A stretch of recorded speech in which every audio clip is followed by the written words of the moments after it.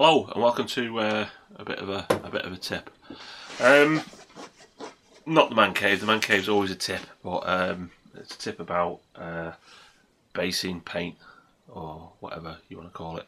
Games Workshop produced this like paint and it's for basing, um, and it's quite expensive in my view. So I thought um, I'd show you something that somebody showed me a while while ago uh, about using uh, acrylic mediums.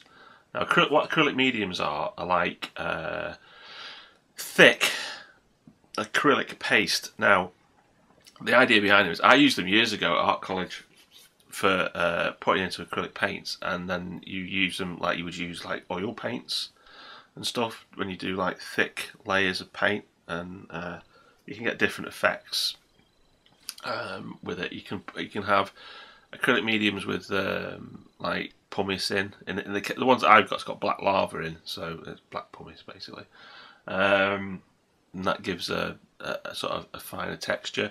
You can get coarse textured stuff, you can get smooth stuff, um, and it's just basically for thickening up acrylic paints for when you're using them with palette knives or whatever. But you can use them to make basing pastes or basing paints uh, similar to the ones that are in the little pots that Games Workshop sell.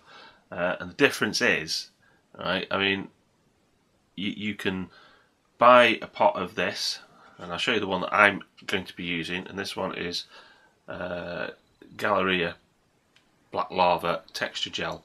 So it's this, you know, so it's got like uh, little bits of pumice in, black black pumice. Um, so it gives a little textured surface. You can get smooth ones, like I say. I think uh, you can get one that crackles as well, so you can make like lava bases. Uh, but I'm not going to swear to that. I I do know there are ones that you can make, and, and, and when they dry, they do crack. Um, but anyway, but the thing is, this is like if I show you, yeah, it sort of looks like that. So it's sort of like a grey, whitey colour. Now, um, because it's an acrylic medium, it's designed to take colour. So you just need a little bit of colour put in it to change it completely. So any colour you have, so any acrylic paint that you have, uh, I've never tried it with the metallics, but you know, say you got blue, red, green, orange, purple, pink, whatever, you can add it to this and it will take that colour faithfully. Um, so it changes. It goes a bit lighter at first, but when it dries, it dries with pretty dark. Well, it dries with the luminosity of the paint that you put in.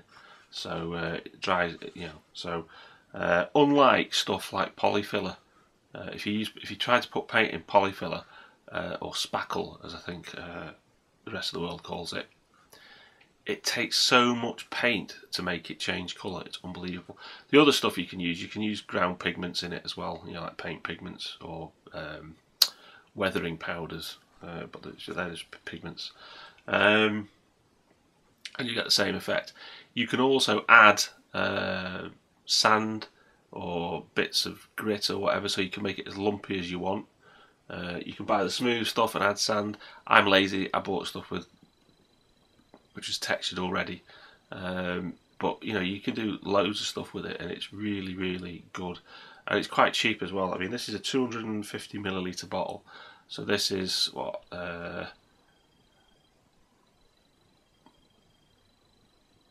Ten times, 20, this is 20 times the amount that you get in a little Games Workshop bottle. In fact, it's probably more than that. Uh, and it only costs six quid. So there you go. It just shows you how much you can get out of it and use it in conjunction with cheap paints. Well, I do anyway. So I just use it with cheap paints from uh, Hobbycraft, which is a hobby store in the UK, but I'm sure all the hobby stores around the world have these same cheap paints. Do you know what I mean? Like the cheap 50p, one pound acrylics, and um, wield your oyster. So anyway, I'll show you what I do with it. There's two ways of using it. You can use it without any paint, without any colouring in it, which I use for doing like um, if I'm doing like single based miniatures, I'll put it on first so as I cover it, so as I just paint the whole thing as one go. Uh, or, um, you know, uh, if you've got multiple bases like you have with like Flames of War or um, Napoleonics, uh, historic battles, uh, 10mm bases, you know, sort of um, uh, you know, or even with uh, you know these sort of bases. Do you know what I mean? Um, where you paint the miniatures first, or on a different thing, and then put them onto a base.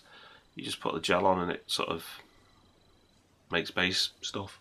Anyway, I'll show you what I'll show you how I got on. Um, so let's have a look.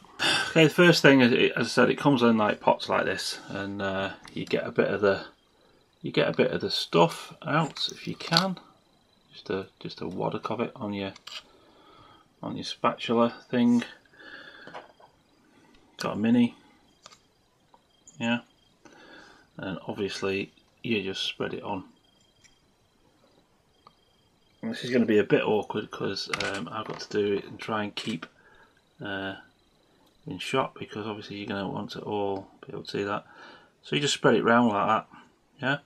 This is like the first. This is like one way of using it. If you're doing like one minute at a time, and you just want to, you know what I mean? Just base the mini up uh, simply. Just do this. Just let me move this because I can't get at it because of the camera. Hang on. Just get another load out. Oops.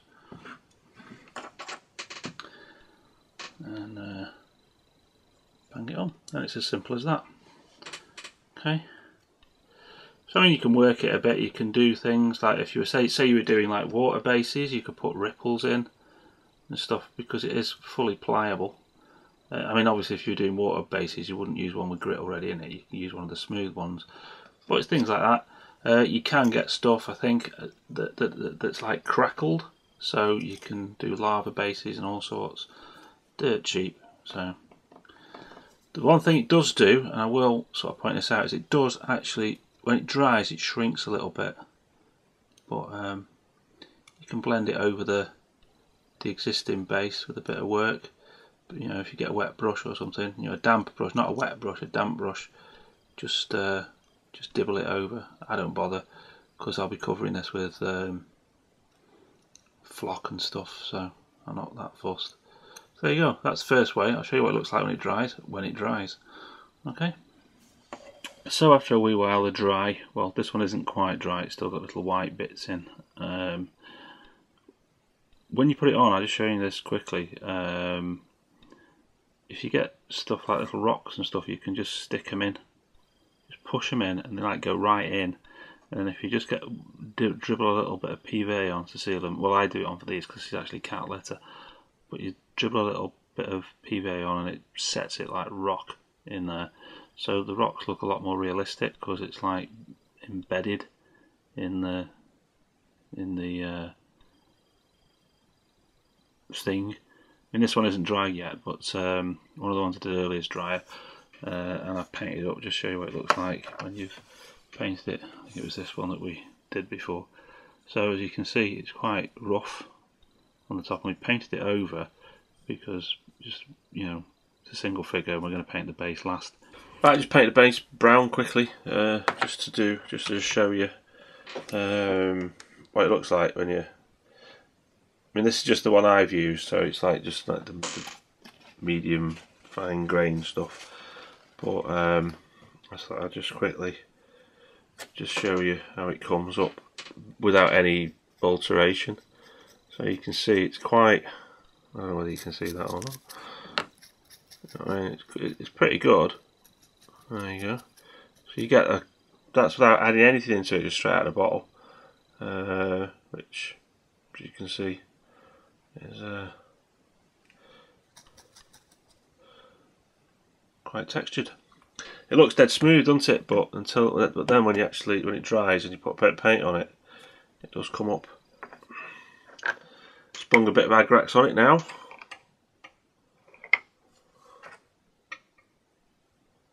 You can really sort of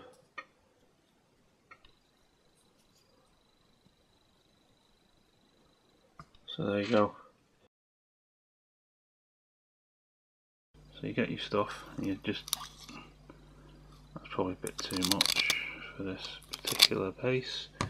And obviously if you're doing loads of bases you just uh, you, you, know, you can do a fair bit but uh, once it's gone hard it's gone hard Um, I suppose that'll be about enough. Okay. Remember, though,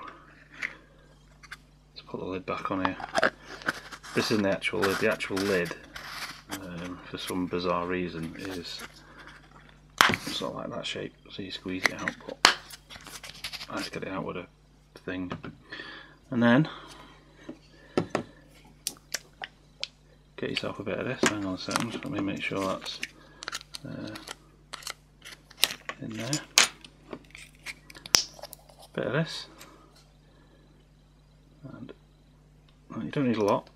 Unlike polyfiller, this stuff, because it's because it's acrylic medium, it takes colour really well.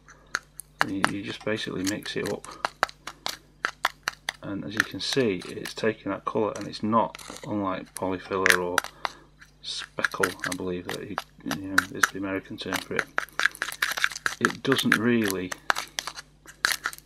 take much paint to make this stuff change colour all the way through yeah so I think I agree that's fairly coloured and I only put a little bit in. I think I probably put a bit too much in to be honest.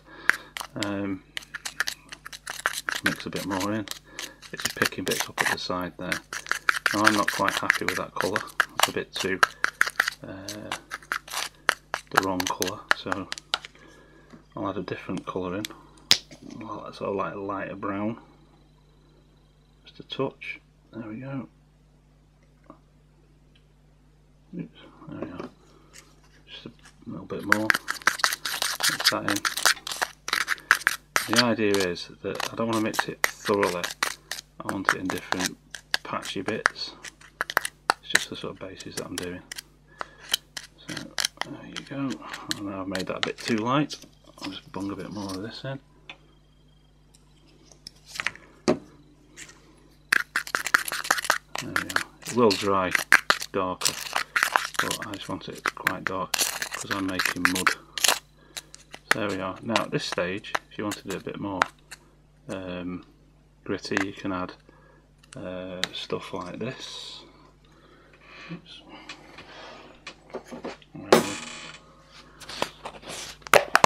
you know like bits of grit and sand and stuff just to make it a bit more grittier or not and I don't so uh, I'll leave it at that. And basically like I say it is acrylic so you just stick it in water give it a wipe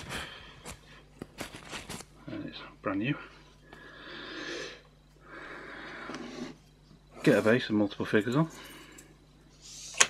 I say it's going to be awkward and I'm not going to do the whole base because it's just a bit too difficult with the camera and you might recognise these from the uh, last Napoleonic update. And you put it in and then just sort of like daub it on. So as you can see it's very much like the textured paint that uh, you buy in £2.40 tubs for 12.5 millilitres I think I put a bit too much liquid in this but never mind. So anyway that's that's basically the principle. And in true Blue, Blue Peter style I'll show you one I did earlier. Bear with me, it ends up looking like that. Which in my mind is pretty good, it's a good texture. Um, I'll probably add a little bit more to this because as I said it does shrink. So I'll probably just run through and do a bit more, probably of a different uh, a different colour, you know, different brown just to vary the, the, the ground a bit uh, before I put the sort of static grassy stuff on. So yeah, Okay I'll carry on and finish this one now. Okay, so after about what five minutes or so of uh, messing about, got the base covered. Uh, it's still wet at the moment. You can still do stuff to it while it's wet. Um, like one of the things that I do is obviously it's quite messy, so I'll just run my finger along the edge of the base, just to take the overhangy bits off. Make sure you clean your hands.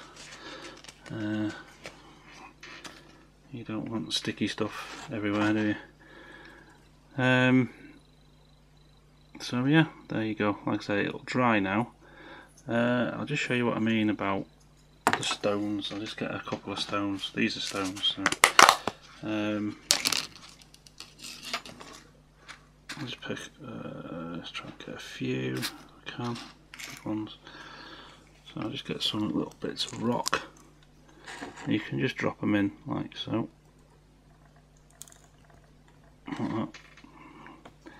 Doing it so as you can see and it's like quite awkward. Uh, I normally don't have to model like a contortionist. So you just get that and then you just press the rocks in. You don't have to press them in hard, just stick them in. And they'll sort of sit naturally in the ground. Yeah. Then in about half an hour or so, when the surface of this stuff sort of goes off, I'll uh, just dribble a bit of PVA in. Couple more. I I could actually just drop loads on, but I'm not going to because you know I don't want this rocky, but you sort of get the idea. So I'll just dribble a bit of PVA over the top of that in about half an hour's time. Like I said, the surface will go quite um, dry within about half an hour to an hour to touch. Yeah, it takes about 12 hours to dry out properly. Um, although you can deal with it before then. Um, what I generally do, and I'm not going to go through the whole basing process, but uh, once it's dry, I'll give it a quick wash of something like, you know, Agrax Earthshade or you know black or something, depending on what sort of ground you want, uh, just to give it a bit more dark tones, and then just just lightly dry brush it um, where you can. Then uh, just stick static grass on it and clumps and flowers or whatever it is that you want. It's really good. But there you go. That's how I base uh, stuff without having to buy the textured paint from Games Workshop. And it works out really well, especially for bases like this where you've got lots of miniatures on, uh, which have been painted beforehand. Uh, another thing is you might get some on some of the miniatures around the feet if you really fussed about that. If you just if you just get while it's in this state, you just want a damp brush and you just brush off the bits where you touch the miniatures. Like I say, it's acrylic, so it will come off. It's not like anything deadly. Um, but with a bit of practice, you'll sort of soon get the hang of it. You know, and that's one of the things with it. You, you know, you've got to do it a few times as you get the hang of it. Just things that you can experiment with. For example, um, if you think it looks a bit too smooth, uh, and this is you just have to judge this by using the stuff is uh, and you want it a bit a bit more rough. If you just get a flat that you see you can pull it up as well.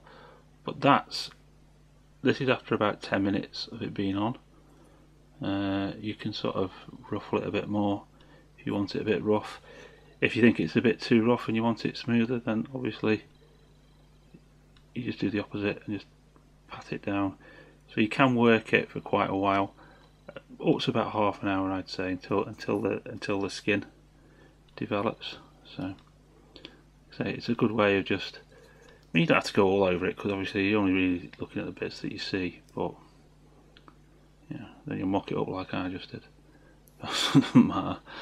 Uh, but you can just like make little peaks and rough ground and stuff. So, alright. So the eye's dry now. It's the morning after the night before, so it's uh, quite quite well, in my opinion. Um, does dry shiny. Uh, you can combat that if you wished by bunging a bit of matte medium in it in in, in the mix. Uh, I appreciate that everybody's got matte medium. Uh, maybe not everybody's made their own washes and stuff, but or had the need to have matte medium. But you can bung that in. Uh, that probably that'll probably take some of the shininess out. But bear in mind, the more liquid you add to it, the runnier it's going to get. Uh, or you know, whack over it with a with a diluted matte coat, or just the dry brushing uh, that you're going to do in the washes and stuff um, to bring out the ground. Um, that'll do something about taking down its shininess. And the other thing to bear in mind is that if you are going to do uh, bases uh, for a multiple unit, try and do the batch in one go because obviously the paints, the, the colours are not going to match, the finish may not fin match. So I only done this one, these two, just for this video. You see, so um, just bear that in mind when you do a proper unit of multiple bases because I've got know another base to do for these and then a, a, a command stand as well. So um, try and mix up a batch in one go. Okay. So there you go. That's um, that's using acrylic texture gels uh, uh, to make basing stuff like the textured paints that you can get from Games Workshop and probably other paint things. But that's all they are. They're just an acrylic gel with a colour added. Uh, um, obviously, experiment. You know, I mean, if you get some of this stuff, you can experiment with it and see what mix levels you want, what you can do with it, what you can add to it. Um, so there you go. Experimentation is the key. Catch you later. Thanks for watching.